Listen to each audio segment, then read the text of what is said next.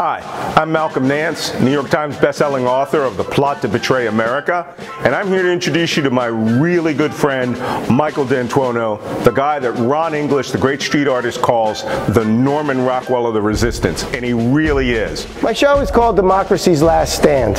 It's my artistic indictment of the corrupt Trump administration. I hope you will see it before you vote. The show will open at the Hudson Underground Gallery on April 4th, and there'll be a special pre-launch event at Helsinki on April 3rd.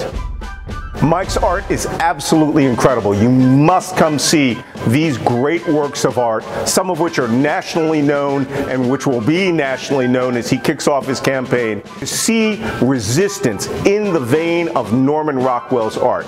I'm going to be there. I want you to come be there. RSVP for this event.